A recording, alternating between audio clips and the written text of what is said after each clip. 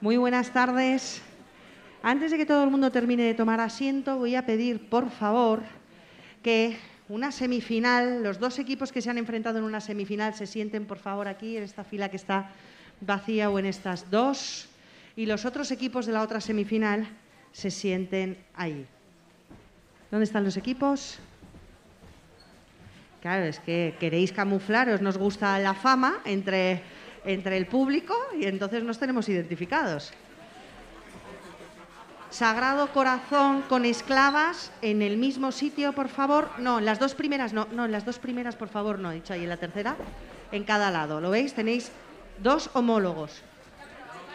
Eh, Ana, Marcos, Dani, podéis moveros hacia atrás, por favor, si no caben. Quitaos de aquí. Marcos, Dani, ¿les dejáis espacio, por fin? Vale. Aquí está Esclavas y el Sagrado Corazón, por favor. Y aquí los dos equipos de la otra semifinal. Jueces, estáis en la tercera.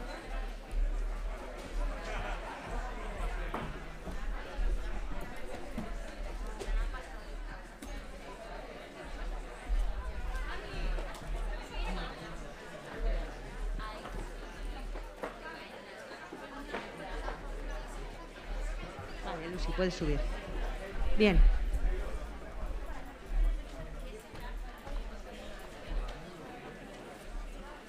Vale. ¿Estamos?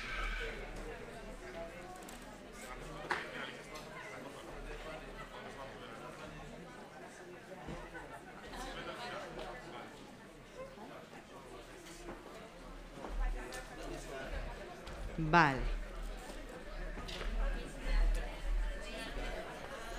Fenomenal. Bueno, muy buenas tardes a todos. Ya estamos aquí. Vamos a organizar el debate número, después de los octavos, 104. No está mal. 52 equipos, 270 participantes y 50 personas entre jueces, staff y organización. Así que, como os había dicho antes, felicidades y enhorabuena a todos porque tiene mucho, mucho mérito. No me voy a enrollar nada, como siempre, voy a, me puedo quitar esto, disculpad por la medida de seguridad, el resto en esta sala es obligatorio el uso de la mascarilla, salvo los oradores eh, cuando salgan al atril eh, que podrán quitársela. No me enrollo nada, ni un momento, solamente algunas indicaciones eh, de orden práctico. Ahora anunciamos qué equipos eh, celebran la final, damos comienzo a la presentación del tribunal y a la presentación de los equipos y posteriormente comenzará. Va Lucy tanto a presentar eh, a los equipos como al panel, como a dar algunas indicaciones de sonido para movilizarse, donde pueden tener identificados al staff que les marque el tiempo y si hubiese alguna pregunta. Justo después se va a retirar eh, los jueces a deliberar y mientras tanto vamos a tener nada, cinco minutos lo que es preparar las mesas para hacer ya la clausura de evento y entrega de premios. Se darán resultados de equipo ganador, mejor orador, por supuesto, y las palabras porque nos acompañan eh, las autoridades para clausurar esta novena edición e inmediatamente después, a medida que vamos saliendo, en la misma pecera vamos a tener a personal del staff para entregaros personalmente eh, los diplomas de participación a vosotros y a vuestros formadores, ¿vale? Así que ahora ya, sí que sí, sin más, procedo. La semifinal que ha enfrentado al colegio Sagrado Corazón de Jesús con el colegio Esclavas, los jueces han decidido que el equipo que debe disputar la final sea Esclavas 2.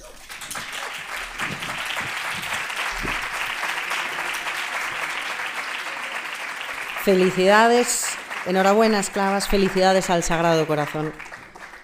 La semifinal que ha enfrentado al Colegio Nuestra Señora del Recuerdo 1 y al IES Carmen Conde 2, el tribunal ha decidido que el equipo que debe disputar la final sea el IES Carmen Conde 2. Enhorabuena, muchas felicidades al Colegio Recuerdo, que además ha llegado a semifinal y a cuartos de final con sus dos equipos. Muchísimas felicidades. Ahora, sin más, por favor, equipos finalistas pueden subir, ocupar sus espacios y les vamos a pedir por favor, que rellenen los nombres de los integrantes por turno, porque ahora sí merecen que todo el mundo conozcamos sus nombres y sus apellidos. Mientras los equipos suben... ¿Están los micros en la mesa? Mientras los equipos suben, em, va a dar paso a la presentación y a las cuestiones técnicas. Lucy, que es la persona que conmigo hemos estado a lo largo de todo este tiempo gestionando la organización. Así que en cinco minutos vamos a proceder. Muchas gracias.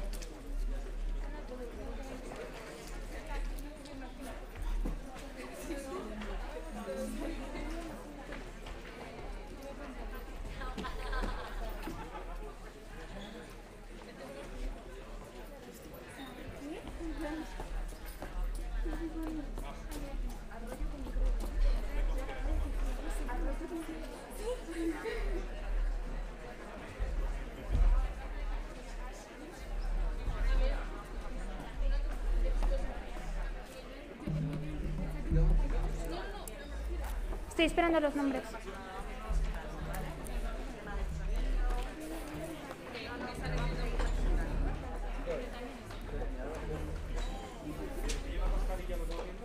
Sí.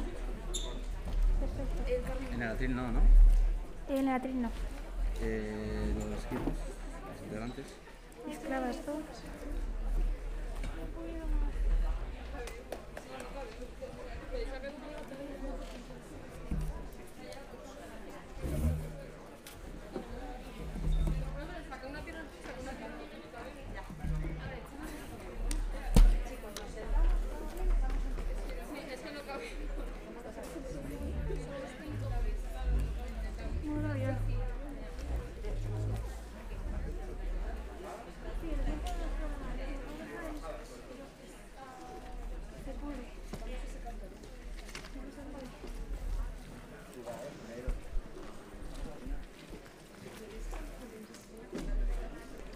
Buenas tardes a todos y bienvenidos a la novena edición del Torneo Municipal de Debate Escolar TIDE. Hoy nos acompañan en el jurado presidiendo Jorge White, licenciado en Derecho, grado superior en Gestión Comercial y Marketing, profesor de Oratoria Jurídica en grado y máster de esta casa, donde además es coordinador de alumnos de la Sociedad de Debates. Es socio fundador de Gus Talent Communication, empresa especializada en la, en organización de torneos de debate escolares y universitarios. Es subcampeón del Campeonato Mundial de Debates en Español, campeón iberoamericano de debate político y bicampeón de máster mundial. Junto a él, en el panel la acompañan Raquel Juncal, graduada en Derecho por la Universidad Francisco de Vitoria, máster en Tributación por el Centro de Estudios Garrigues, abogada fiscalista asociada con el Departamento Internacional de Fusiones y Adquisiciones, exdebatiente experimentada, ganadora del primer torneo de Isabel de España, ganadora del primer torneo Pasarela Jurídica de la Liga de Debate del Poder Judicial, junto con Abel Recio, estudiante de Derecho y Filosofía de la Universidad Complutense de Madrid, lugar donde es debatiente veterano. Entre sus, méritos está el, el, sector destaca finalista en Elías Aguja, Seneca, FEDEG, campeón de Villas de Madrid y como jueza está en el Complu IE, final de CICAE y Toledo de Madrid. También nos encontramos con Alejandro Pardo Castro, graduado en Psicología por la Universidad de Santiago de Compostela y Química por la Universidad de A Coruña. Actualmente estudia un máster en Industria Química en, en CESIF, graduado, ganador del tercer Torneo Nacional de Debate de Santiago de, Com de Compostela y mejor orador de ese mismo. Ganador del premio al mejor orador en el, en el noveno Torneo de Francisco de Vitoria. También nos acompañan en el panel Giselle Merger Hernández, politóloga convención en Relaciones Internacionales y máster en Derecho y Política Internacional por la Universidad Central de Venezuela y la UFV, formadora en Comunicación Giratoria, entrenadora de equipos de debate y seminarista internacional, representando a Venezuela ante el Consejo Mundial de Debate Español desde 2015 hasta 2019. Tenemos también a Marina Islandia Fernández, estudiante de periodismo con especialización en periodismo multimedia en la UFV. En el mundo de debate ha sido miembro de la Sociedad de Debates de la UFV durante cuatro años, durante los cuales fue becario de la sociedad y participó en más de 15 torneos, tanto académicos como BP. Se la conoce en el mundo de los jueces por estar presente en varios torneos académicos y escolares como CICAE o el TIDE. Finalmente, en el panel nos encontramos a Laura Cardenal, Key Account Manager de Thermo Fisher Scientific, MBA, Empresas Biotecnológicas por la Universidad de CEU San Pablo y graduada en Biotecnología por la UFV. Como debatiente, tiene logros como campeona del torneo de BP de la UAM 2021, campeona del torneo BP URJC 2020 y mejor oradora del quinto torneo USAL. Institucionalmente ha llegado a fases finales de Campeonato Mundial de Debate Universitario en Guatemala 2017, Chile 2018 y Perú 2019. Los equipos que se enfrentan en este debate son Esclavas 2 y Carmen Conde 2, siendo los integrantes de Esclavas 2 Naira Santos, Candela Robles, Carmen Figueroa y Alejandro Esquerra. Y de Carmen Conde 2 nos encontramos a Marta Gómez, Lucía García, Teresa Martínez y Aitana Madrid de la Cruz. Recordamos la pregunta. ¿Debe el sistema de educación pública cambiar su modelo de enseñanza tradicional por otros modelos alternativos? Avisos importantes de cara al debate. Recordamos que supondrá un aviso de desajuste positivo o negativo de hasta 10 segundos, es decir, el aviso será en el segundo 11, y las interpelaciones de más de 15 segundos. Las, preguntas empiezan a contar en cuanto se le, se le cede la palabra al orador. La acumulación de dos avisos o del desajuste positivo o negativo de más de 15 segundos, es decir, a partir del 16, supondrá una falta leve, lo que restará medio punto sobre la nota final del equipo. Una vez explicado esto, vamos a llamar a los capitanes para, para proceder con el sorteo de posturas. Por favor.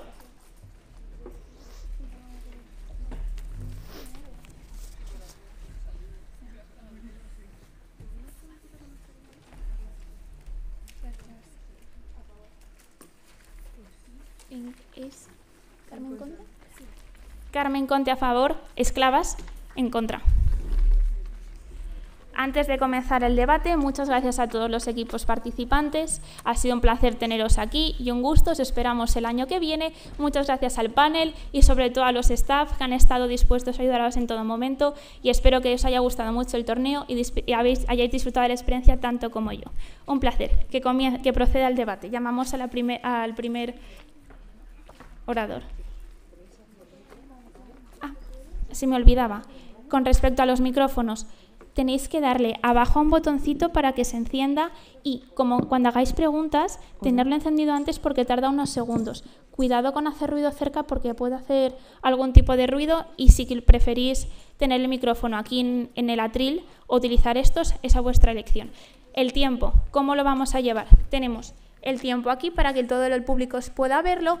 Los oradores tienen una televisión con el tiempo que se proyecta al mismo tiempo porque están conectadas y abajo tenemos a nuestra staff Sofía que va a ir levantando un dedo cuando queda un minuto, el puño 30 segundos y conteo positivo tanto como negativo. También eh, tenemos a Álvaro que hará el conteo de las preguntas que son 15 segundos. Un placer y suerte a ambos equipos.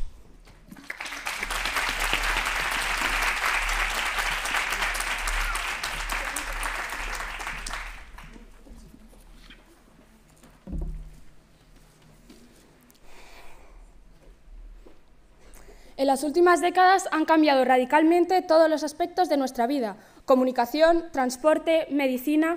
Nuestro mundo es irreconocible para generaciones que aún están vivas, excepto por la educación, una salida muy incierta y cuestionable al estar formando a jóvenes para un mundo que ya no existe y que en pocos años será aún más irreconocible.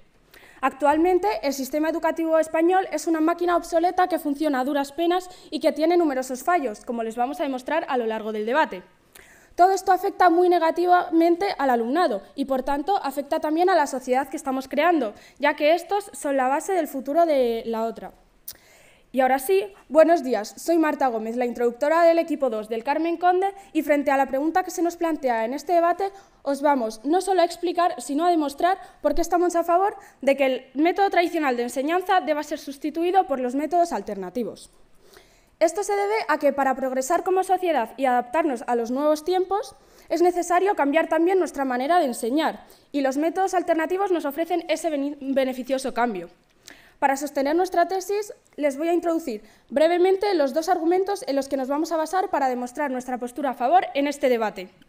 El primero consiste en comparar ambos métodos y sus características para ilustrar las ventajas que supondría implementar los, sistemas alternativos en España, ventajas que el sistema tradicional ya no nos puede ofrecer. Por una parte, se basa en la desmotivación que sufren los alumnos en los métodos tradicionales. Esto se debe a la manera de impartir conocimientos, que se basa más en la memorización que en las capacidades del alumno y, por tanto, los alumnos solo buscan el aprobado por todos los medios posibles sin dar importancia a su propio aprendizaje, que es lo importante. Por el contrario, los métodos alternativos no tratan que sus estudiantes memoricen conceptos que más tarde van a olvidar, sino que buscan la comprensión de las materias para alcanzar un pensamiento autónomo y creativo. Esto es mucho más importante, ya que, como dijo Walter Isaacson, la ventaja competitiva de una sociedad no vendrá de lo bien que se explique eh, al alumno a multiplicar o las tablas periódicas, sino de lo bien que se sepa estimular la imaginación y la creatividad. Además, durante este proceso, cada alumno explora su entorno para aprender de él y de los errores que va cometiendo por el camino, preparándose así para el mundo al que más tarde va a tener que enfrentarse. Por otra parte, nuestro primer argumento se centra también en el profesor y el ratio de alumnos por cada uno de ellos. En el método tradicional, el maestro es simplemente quien transmite la, la, información, es decir, un modelo al que obedecer e imitar, sin atender a las capacidades y a las decadencias de cada alumno. En cambio, la individualización que ofrecen los métodos alternativos, gracias a la disminución del ratio correspondiente a cada profesor, permite al alumno recibir la atención personalizada que necesita para que aprenda y evolucione siempre siguiendo sus capacidades. Nuestro segundo argumento se basa en otra cualidad del sistema tradicional que no he mencionado anteriormente, la competitividad. Este sistema solo está logrando crear una sociedad segregacionista en la que establecemos quién sirve y quién no, dependiendo de un solo examen que no es capaz de evaluar todas las capacidades que tiene un alumno. Es por todas estas razones que más adelante desarrollarán y evidenciarán mis compañeras que podemos considerar que el método, eh, que el método tradicional actualmente es un fracaso. Y esto lo podemos ver claramente en la tasa de abandono escolar que más tarde enseñarán mis compañeras. En conclusión, un buen sistema educativo, como nos ofrecen los métodos alternativos, debe preparar a jóvenes para la vida a la que más tarde se van a tener que enfrentar. Sin embargo, como dijo Albert Einstein, no, no pretendas que las cosas cambien si siempre haces lo mismo. Y es que, como he explicado al inicio de mi, de mi exposición, no podemos pretender que los alumnos estén preparados para el, eh, para el mundo actual educando para el de hace un siglo. Muchas gracias.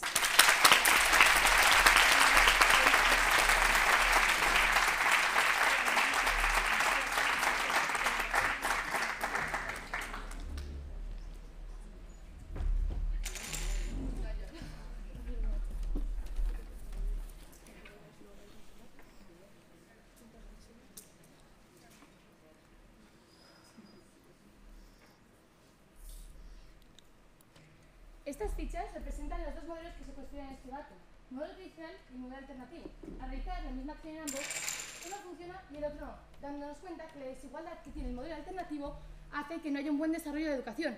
Buenos días, mi nombre es Nayara Santos y junto a mi equipo Estrada Chameli 2 vamos a defender y a demostrar a lo largo de este debate que el sistema de educación pública no debe cambiar su modelo tradicional por otros modelos alternativos. Y lo haremos mediante la defensa de nuestra tesis. El modelo tradicional favorece la igualdad educativa y promueve los recursos educativos muy valiosos. Empezaremos por definir los términos de la pregunta. Por modelo de enseñanza tradicional entenderemos aquel que concibe la enseñanza como un verdadero arte y al profesor como un artesano, que trata de exponer de forma eh, progresiva sus conocimientos, enfocándose de manera central en el aprendizaje del alumno. Por contra, consideraremos modelos alternativos el conjunto heterogéneo de pedagogías que quieren poner al alumno en interacción con otros, como protagonista de ese proceso, y sus intereses por encima de los contenidos. Además, suelen usar las nuevas tecnologías para facilitar ese aprendizaje. Parecería que debido a los cambios, bueno, permítanme hacer una breve contextualización, parecería que debido a los cambios sociales del modelo tradicional se ha quedado obsoleto para poder preparar a los jóvenes de cara a la vida adulta, pero no podemos obviar que la sociedad siempre ha tenido cambios y crisis, y ha sido con la enseñanza tradicional con la que se ha sabido preparar a los jóvenes para estar instruidos y ser buenos ciudadanos. Además, la heterogeneidad de diferentes modelos dispararía el caos educativo. Y un sistema público no debe hacer una opción por un método concreto. Por tanto, le pregunto a mi equipo contrario, ¿hay que optar por una, por todas, por cuántas, por qué no otras? Ahora pasemos a exponer nuestros dos sólidos argumentos, la ruptura del principio de igualdad educativa y la pérdida de recursos valiosos. A continuación voy a comentar con nuestro primer argumento, la ruptura del principio de igualdad educativa. La igualdad de oportunidades es uno de los principios rectores de la educación. Lo vemos en los derechos humanos y en todos los documentos que nacen de ellos, sean nacionales o internacionales. Así, en la Agenda 2030, el Objetivo de Desarrollo Sostenible 4 nos pide garantizar una educación inclusiva y equitativa de calidad y promover oportunidades de aprendizaje permanentes para todos. También lo vemos en nuestra Constitución. El artículo 27.5, cito textualmente, los poderes públicos garantizan el derecho de todos a la educación mediante una programación general de la enseñanza y según el artículo el punto 4 de dicho artículo ha de ser obligatoria y básica. Por tanto, los métodos alternativos son altamente selectivos y apuestan únicamente por el interés del alumno, con lo cual se perdería que todos tuviesen la misma educación. La base común no cabe en los modelos alternativos por su propia idiosincrasia. Por tanto, un cambio por ellos quebraría el principio de igualdad educativa. Ahora pasemos a nuestro segundo argumento, la pérdida de recursos valiosos. El modelo tradicional nos ofrece multitud de ventajas, nos proporciona seguridad mediante los libros de texto que traen contenidos actualizados, de fácil interpretación, adecuados para los niños y para su edad. Además, nos ofrece una socialización adecuada a la edad. Así, los alumnos están en contacto con sus compañeros que, eh, experiencian similares experiencias y además las viven en conjunto, las comparten. Además, nos da una secuenciación de conocimientos basada en la psicología evolutiva. Si hacemos un cambio por los modelos alternativos, estas experiencias ya contrastadas se perderán y será muy probable caer en un caos educativo que solo favorezca a los más pudientes. Por tanto, porque se rompe el principio de igualdad educativa y por la pérdida de recursos valiosos, no se debería cambiar el modelo tradicional por otros modelos alternativos. Muchas gracias.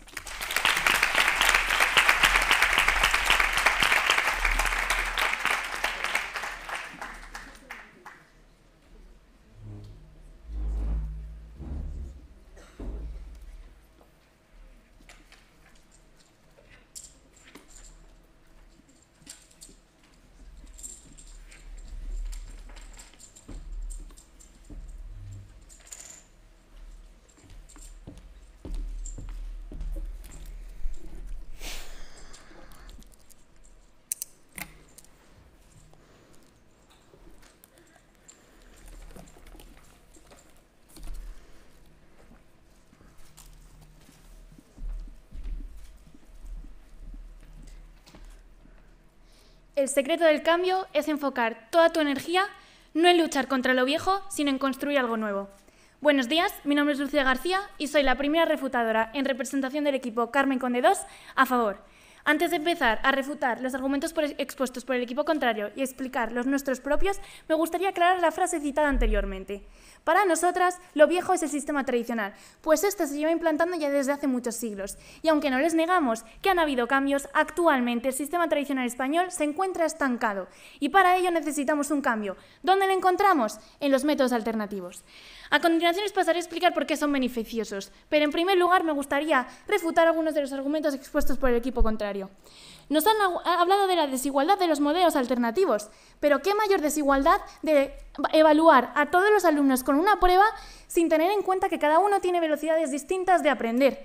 Esto es totalmente desigual, desigualitario, puesto que no nos puedes juzgar igual a un alumno que se le da bien dibujar con un alumno que se le da bien las matemáticas. Obviamente, en un ámbito uno será mejor que en otro.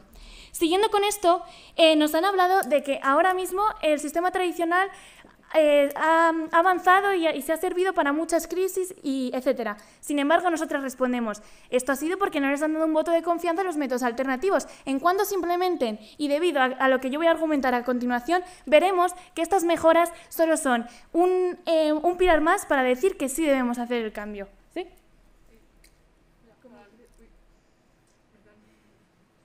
¿Cómo pretende usted, bueno, Dime, dímelo. ¿cómo pretende usted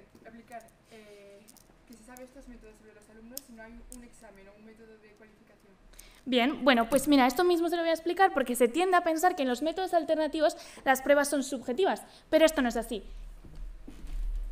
Voy a explicar con esta gráfica de aquí. En esta gráfica vemos cómo se evalúan los métodos alternativos. Las pruebas subjetivas son solo el 2%. Precisamente nosotros estamos en contra de hacer ese examen. Entonces su pregunta me viene estupendamente, puesto que aquí vamos a ver que en los métodos alternativos se hacen cuestionarios, mapas conceptuales, pruebas de libros, pruebas objetivas y muchos otros. Con lo cual, tienen modelos de calificación que no provocan una desmotivación del alumno. Y es el argumento que voy a pasar a explicar a continuación.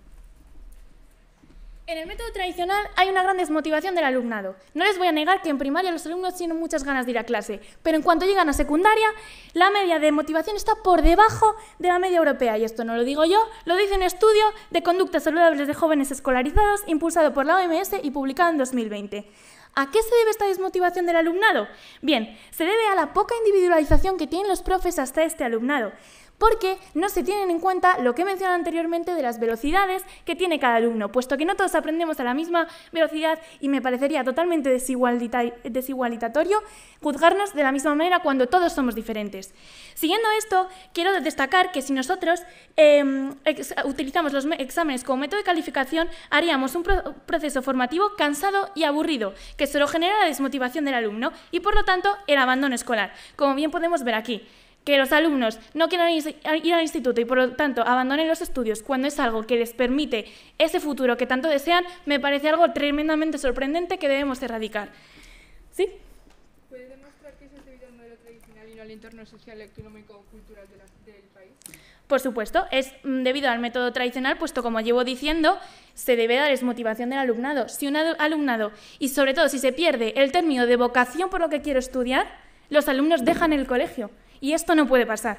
Siguiendo con esto, me gustaría destacar que el método tradicional tiene una actitud pasiva, es decir, los alumnos se sientan, toman apuntes y en ocasiones hacen preguntas. Y esto no puede pasar. Según un experto, Edgar Dale, en 1969, como podemos ver en esta pirámide, hizo una pirámide donde arriba se encuentran las actitudes pasivas y abajo la actividad activa. Podemos ver que los alumnos, un 5% es lo que captan de actividad pasiva, es decir, del tradicional no pueden seguir adelante, pero de los métodos alternativos, un 90% es lo que captan. Yo solo veo ventajas para implementar los métodos alternativos.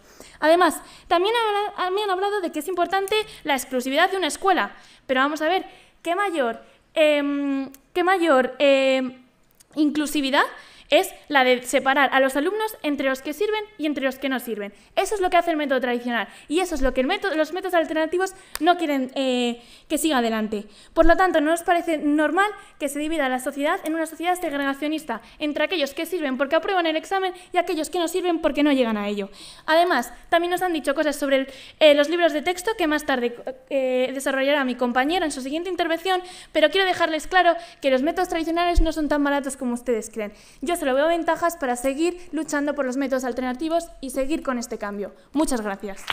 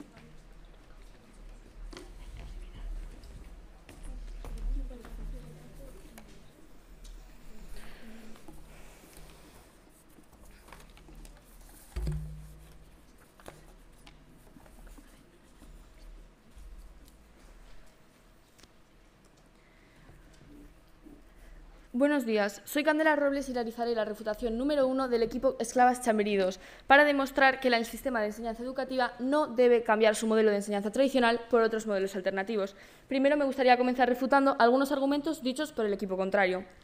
Han hablado eh, de que no hay que luchar contra lo viejo, es decir, claramente no hay que luchar contra el modelo tradicional que ahora demostraré que sí funciona, debido a que el sistema, el modelo tradicional, al contrario de lo que han dicho, sí se actualiza, es decir, sí está al día. No han demostrado por qué está estancado, por lo cual no lo hemos llegado a entender del todo.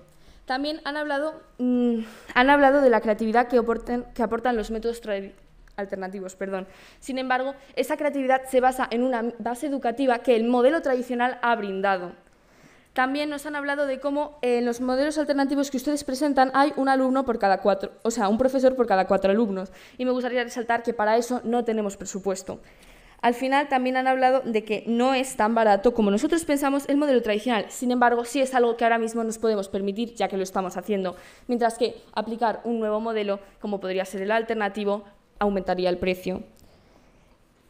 Eh, han hablado de la desmotivación en los alumnos, sin embargo, no nos han llegado a demostrar por qué eso es por los modelos tradicionales. Y también han sacado el abandono. Sin embargo, me gustaría resaltar por qué el abandono no se debe al método, sino a factores externos como pueden ser eh, la familia o factores socioeconómicos, ya que en todo el tiempo que el método tradicional se seguía, eh, se seguía utilizando ha disminuido, demostrando así que el modelo tradicional no es el causante de este abandono. Nosotros no estamos hablando de una igualdad en la que todos somos clones, sino una igualdad en la que tenemos la misma base educativa, brindándonos las mismas oportunidades para el futuro.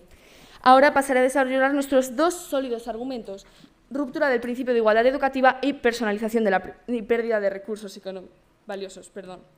El principio de igualdad educativa se rompería de manera drástica. La lucha por igualdad de oportunidades se remonta a siglos atrás y con los modelos alternativos no las tendríamos. Los modelos alternativos se caracterizan por una cosa, heterogeneidad. Cada uno es distinto del anterior y esto es claramente visible, creando desigualdades en la manera de aprender. La igualdad en oportunidades se consigue mediante la misma base educativa. Sin embargo, la pérdida principal de estos modelos alternativos sería esa misma base educativa. Si cada niño elige según sus intereses, si cada alumno elige según lo que se le da bien, nadie tendrá los mismos conocimientos y por ello nadie tendrá las mismas oportunidades. Un grave problema es cuando el niño no tiene suficientes estímulos, cuando no tiene interés por nada. Porque los intereses hay que inculcarlos, no se nace con ellos. Sin embargo, ¿quién es el encargado? La familia. Esto vuelve a demostrar la ruptura del principio de igualdad. Si un niño no tiene los mismos intereses que otro, no aprenderá lo mismo, debido al modelo de los métodos alternativos. Por consecuencia, esto crearía una brecha cultural entre las familias, ya que no todas tienen el mismo nivel educativo, cultural y educativo. Si son ellas las encargadas de transmitir los intereses, cada niño, el niño tendrá una falta de aprendizaje por el nivel familiar, que no es su culpa. ¿Su pregunta? ¿La objetividad en el método tradicional no promueve la desigualdad entre los que tienen distintas capacidades? ¿Puede repetirlo? Sí. Eh, ¿La objetividad en el método tradicional no promueve la desigualdad entre los que tienen distintas capacidades? No, porque lo que estamos buscando es que todos tengan una misma base educativa para después poder destacar. Y también esto nos prepara para el mercado laboral, en el que todo es objetivo y no importan tus capacidades. Es decir, no estamos diciendo que tus capacidades personales no sean importantes, y eso se muestra con los numerosos triunfos que tenemos en todos los ámbitos. Por ello, el método tradicional sí funciona. Ani Pérez, doctora en educación, trata de eso en su tesis doctoral, la educación libertaria en un contexto neoliberal, donde dice textualmente, como nosotros hemos defendido, que las pedagogías alternativas agravan las desigualdades de clase. En nuestro segundo argumento, pérdida de recursos, defendemos que perdemos la socialización adecuada de la edad y por eso inculcar modelos alternativos no compensa. Como pueden ver en este artículo, en este artículo, y como dice la eh, doctora en neurociencia, en neurociencia, Ana Asensio, la relación de los niños con sus iguales es muy importante, sobre todo porque provoca una estimulación natural, natural que es necesaria para el sistema nervioso. Al final, nuestro, al final nuestro desarrollo está mediado por la relación con los demás y no podemos perder esto, al igual que no podemos perder la rutina que usamos en nuestro día a día y que con el modelo tradicional nos ayuda para implicarla desde pequeños. Y así demostramos que no debemos cambiar el sistema tradicional por los modelos alternativos, debido debido a la ruptura del principio de igualdad educativa y a la pérdida de recursos valiosos. Muchas gracias.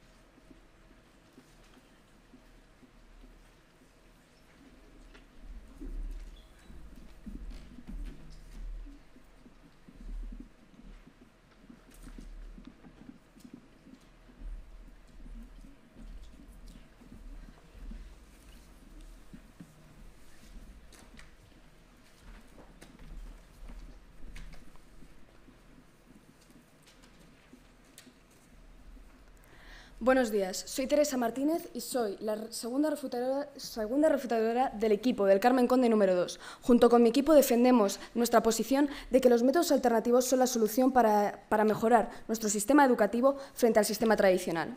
En primer lugar, me gustaría comenzar refutando algunos de los argumentos del equipo contrario, como por ejemplo decir y reiterarnos en que el método tradicional se basa en aprobar y no en hacer que los alumnos aprendan. Para ello, lo mostraremos con nuestros argumentos que ya hemos ido eh, mostrando desde el comienzo de nuestras intervenciones. Sin embargo, me gustaría aclarar eh, el tema de que ustedes defienden que los métodos alternativos aportan eh, menos igualdad entre los alumnos a diferencia del método tradicional.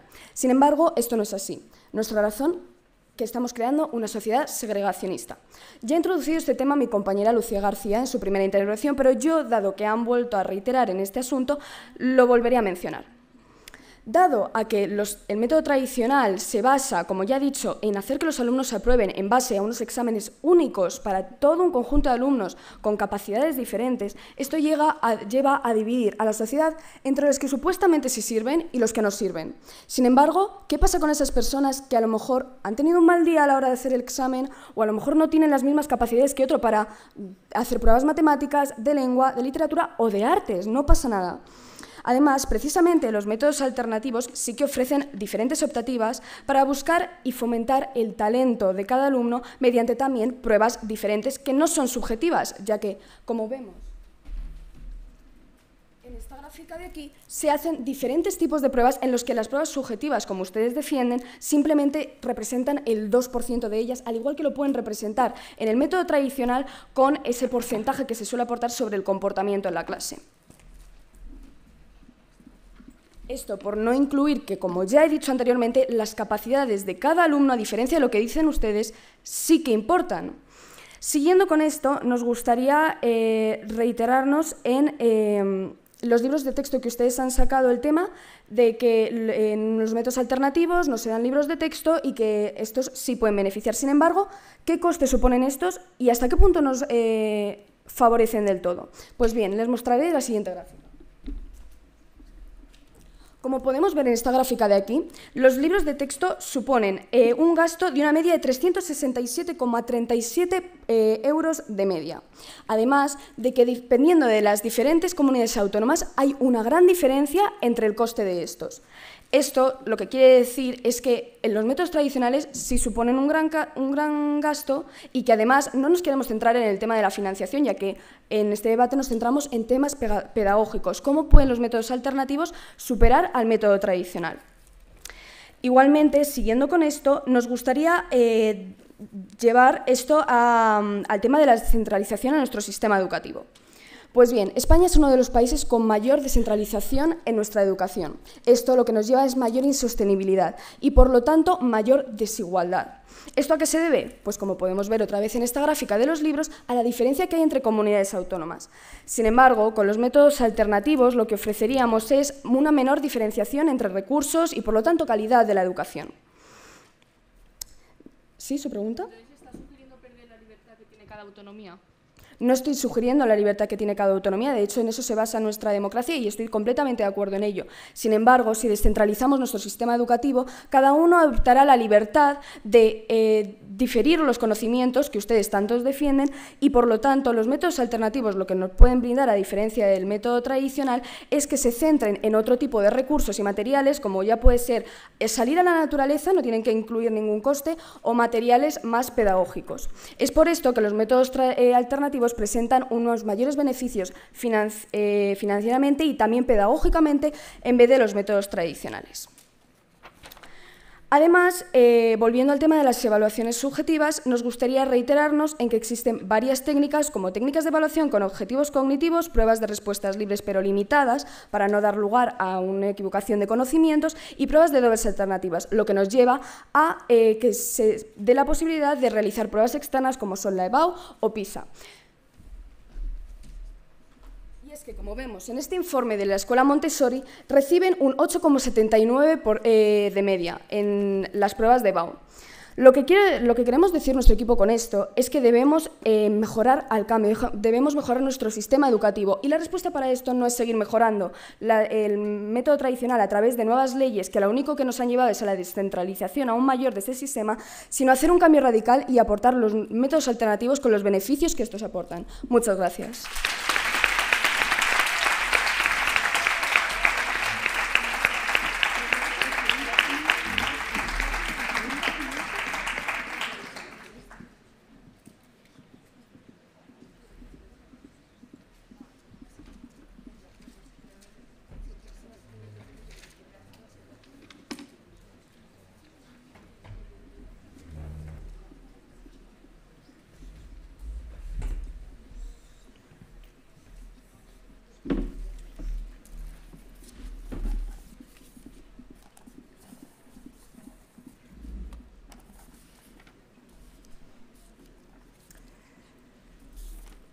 Buenos días a todos. Mi nombre es Carmen Figueroa y soy la refutadora de número 2 del equipo Esclavas 2. Estamos aquí porque se nos ha hecho una pregunta. ¿Debe el sistema de educación pública cambiar su sistema de educación tradicional por unos modelos alternativos? Nosotros respondemos con un rotundo no. Primero refutaré los argumentos del equipo contrario y posteriormente desarrollaré nuestra argumentación. El equipo contrario nos ha presentado dos argumentos.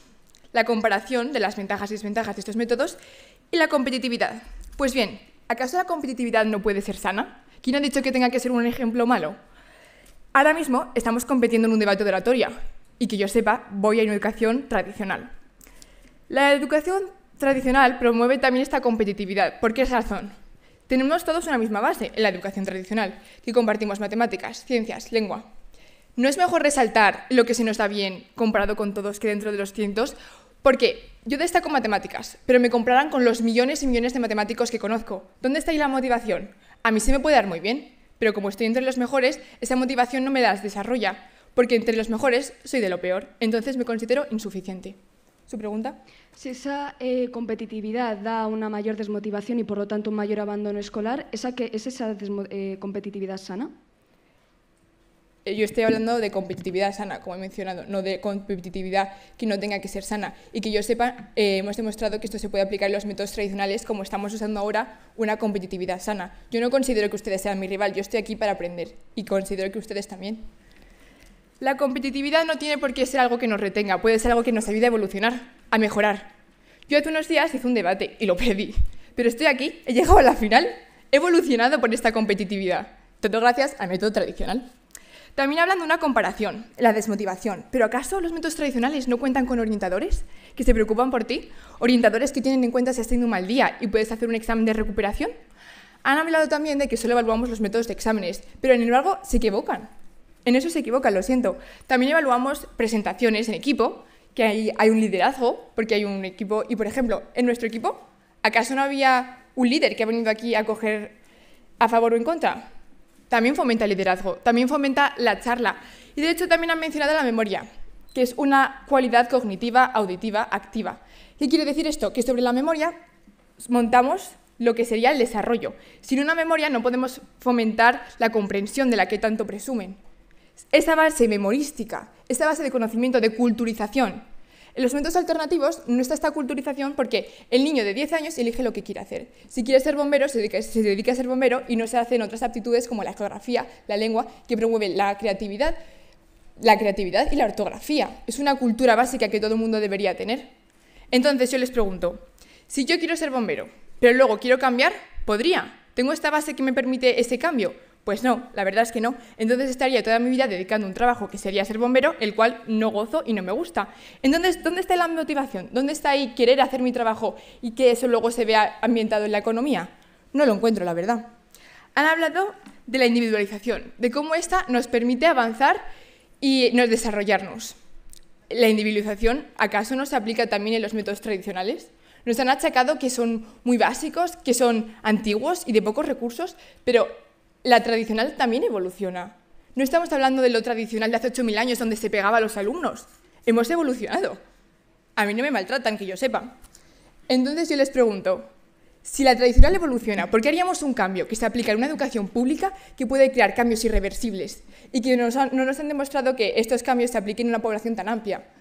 Los, modelos alternativos solo funcionan en pequeñas agrupaciones. Países tan grandes como España, Italia o Francia tienen una población bastante amplia, donde la individualización no se puede desarrollar de la misma forma. Por no hablar de numerosos estudios que se llevaron a cabo durante la cuarentena.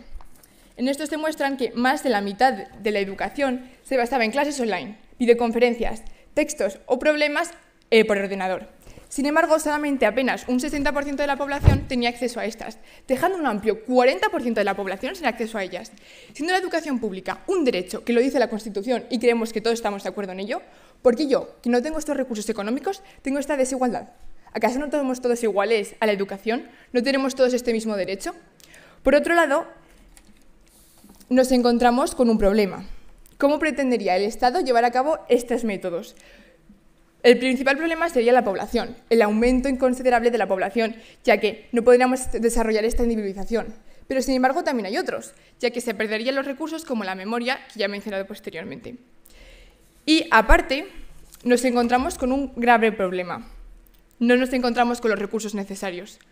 Por eso afirmamos que la educación pública no debería cambiar su modelo tradicional por unos alternativos. Muchas gracias.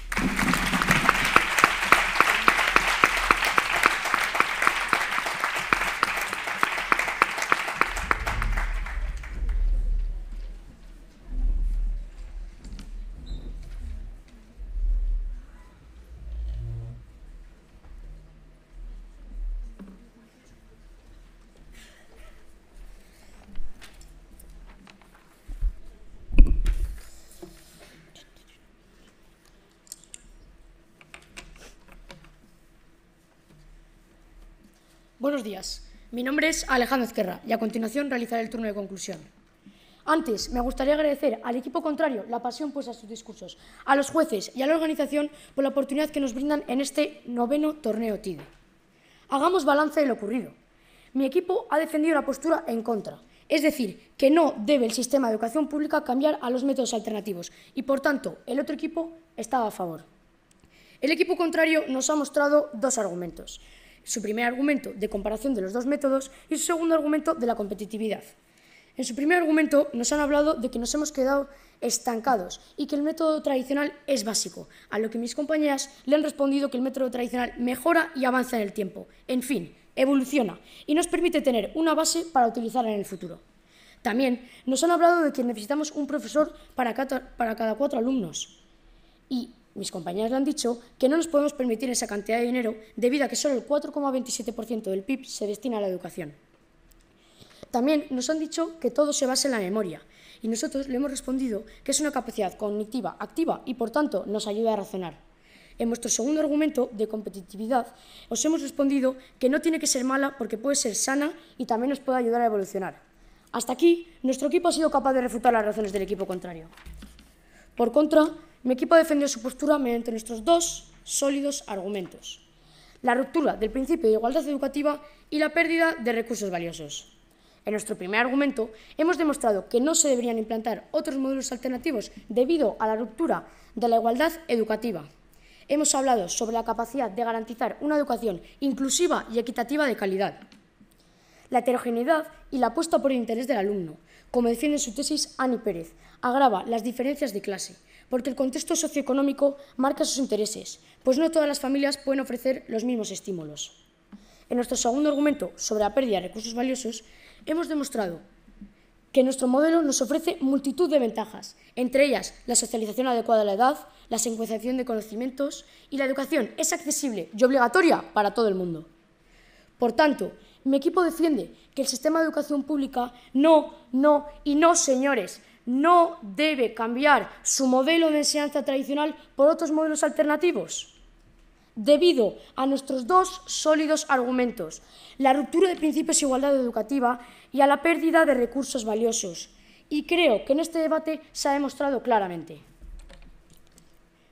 Según ustedes, señoras y señores, parecería que el método tradicional no nos aporta nada, ¿verdad? Y nos deja la mente como esta ficha, vacía. Pero en realidad, el método tradicional lo que nos hace es llenarla de nuevos conocimientos. Como esta ficha. Muchas gracias.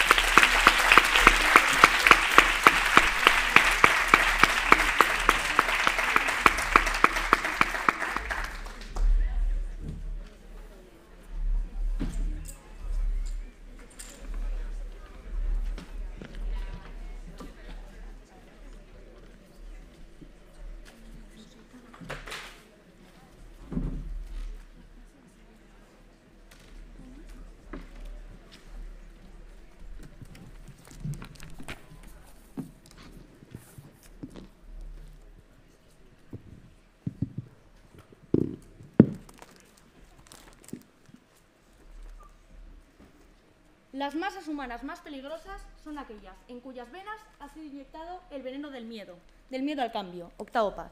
Buenos días, mi nombre es Aitana Madrid y soy la encargada de la conclusión del segundo, del segundo equipo del Carmen Conde. Antes de nada, quería agradecer al jurado, al equipo contrario, al público y al staff, especialmente al cámara, por permitir que estuviéramos aquí presentes hoy. Ante la cuestión planteada de si debe España cambiar su modelo de enseñanza tradicional por otros métodos alternativos, como hemos estado demostrando a lo largo de este debate, nuestro, posicionamiento es a favor. Ahora pasaré a comentar algunos puntos en común que me han llamado la atención y que cada equipo ha refutado con sus razonamientos. Estos han sido la igualdad de oportunidades y la manera de evaluar de cada sistema. En cuanto a los argumentos del equipo contrario, estos se han basado en dos. El primero en la ruptura del principio de igualdad educativa, y han mencionado la desigualdad de los métodos alternativos, a lo que nosotros hemos refutado diciendo que el método tradicional no es inclusivo, ya que califican a los alumnos con una simple prueba que solo trata de un tipo exacto de capacidad. Entonces, si el alumno no cumple con esas capacidades, el resto de grandes de cualidades que tiene no sirven. Esto no ocurre en los métodos alternativos, pues se califican a los alumnos dependiendo de sus cualidades y no con un simple examen. El explicar un segundo argumento en la segunda refutación impide el diálogo entre el debate, pero por lo que hemos podido captar, se ha tratado de la pérdida de los recursos valiosos, a lo que nosotras, en el método alternativo, consideramos que los recursos valiosos es la motivación del alumno por el aprendizaje. En cuanto a las evaluaciones subjetivas que ha mencionado el equipo contrario de los métodos alternativos, hemos refutado que se realizan diversas pruebas en estas, como por ejemplo la BAU, que aunque sea un examen del método tradicional, los métodos alternativos tienen una gran, media. En cuanto a la pregunta que les hemos realizado de la competitividad que promueve el internacional y que lleva al abandono escolar si es sana, el equipo contrario nos ha dicho que es una competitividad sana. Pero entonces, como hemos argumentado, ¿Cómo puede ser tan sana si desarrolla la desmotivación en el alumno? Los argumentos que hemos utilizado para defender nuestra posición son los siguientes. En el primer argumento hemos hablado de la desmotivación del alumnado, del profesor como figura de autoridad y de su manera de impartir conocimiento. En el segundo argumento hemos explicado cómo el sistema tradicional desarrolla una sociedad segregacionista que realiza una división entre los que sirven y los que supuestamente no sirven. Y ahora, como ha dicho mi compañera en la introducción, en las últimas décadas se han realizado cambios drásticos en diversos ámbitos de nuestras vidas. ¿Cómo lo son? En el transporte, en la comunicación, en la tecnología, el mundo es prácticamente reconocible para generaciones que aún están vivas, excepto por la educación. Porque permítanme decirles que la única diferencia que encuentro yo en estas fotos es que en este aula hay alumnos y en esta no. Además de que, como dijo Albert Einstein, lo único que interfiere con mi aprendizaje es mi educación. Por ende, si no estamos contentos con el sistema educativo actual, no deberíamos dejar que los estudiantes aprendiesen de manera correcta y cambiar para formar a los líderes del futuro. Muchas gracias.